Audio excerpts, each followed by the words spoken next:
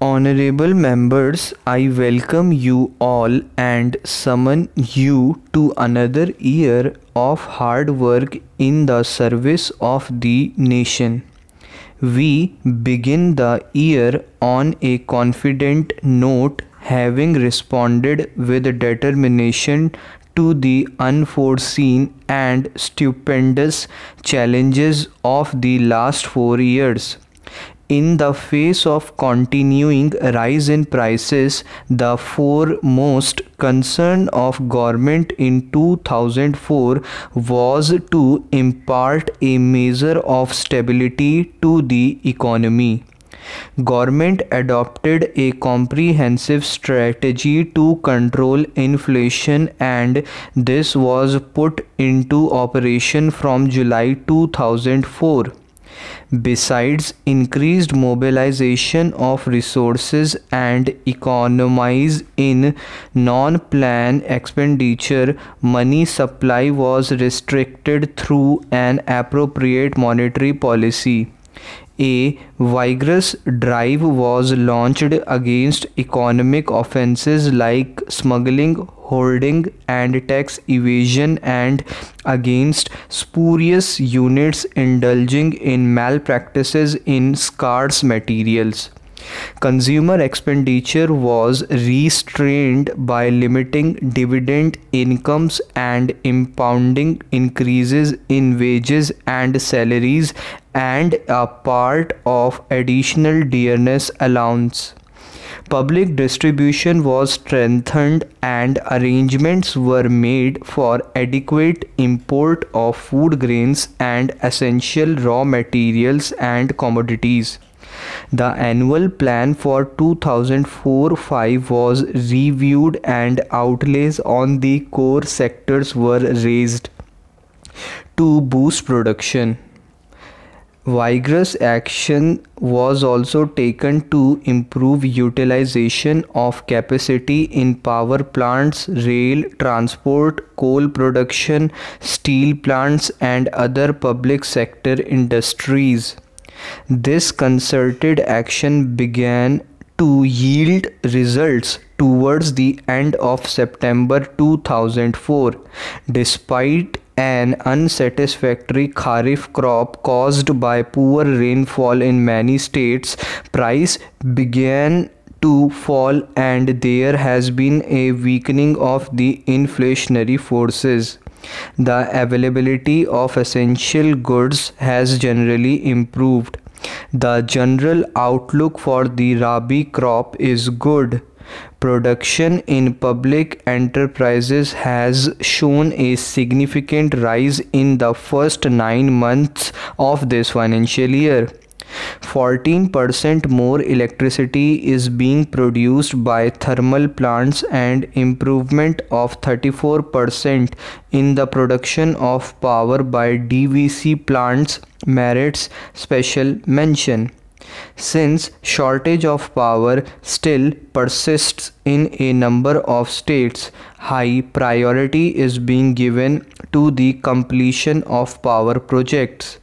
About 2 million kW of power capacity is being added in 2004-5 and another 3 million in the coming year. 10 million tons more coal will be produced this year. The production is going up. Public sector engineering industries are doing remarkably well more railway wagons are being moved daily.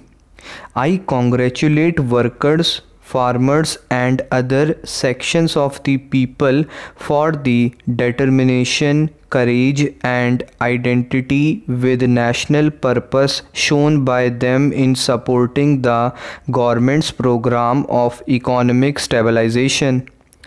Government is aware that there is no room for complacency as there are still sizable imbalances between supply and demand in several important sectors of the economy. The international economic situation is also full of uncertainties. The monetary and fiscal measures and the action against economic offenses will be continued with vigor. Simultaneously, government will intensify measures to remove limitations in the infrastructure and to increase production in the vital sectors. In the international sphere, we shall continue to work for the ev- evolution of a just and viable economic order in cooperation with developing countries as well as developed countries which have shown understanding of our problems. We have been hit hard by the sudden and large increase in the prices of oil, food, and fertilizers. Articles of common consumption have been affected and great hardship has been caused to the people. There is a very heavy draft on foreign exchange. Even a significant increase in our export earnings is not adequate to fill the gap. Special efforts and arrangements are necessary to deal with the problems of oil importing developing countries. Some of the oil exporting countries have helped us in this regard. There has also been some action at the international level. But these measures fall short of the needs of the situation the severe damage caused to the economies of developing countries has to be recognized and redressed through purposeful cooperative effort on a global scale. We shall continue to take appropriate initiatives in this direction both through bilateral negotiations and in international forums. In addition to the emphasis on increased production and use of coal, we are going ahead with oil exploration on an urgent basis.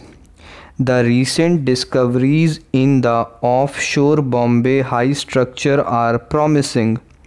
Government has decided that this oil field should be developed to the production stage with the greatest expedition. It is being planned that the first stage of production should begin in 2006 and that in another 4 years the production from this area should go up to 10 million tons. The future outlook for production of oil from offshore and onshore area is reassuring.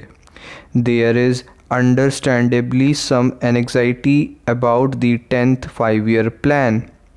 A plan has a framework and a coherent system of objectives as well as a detailed program indicating targets and the availability of resources.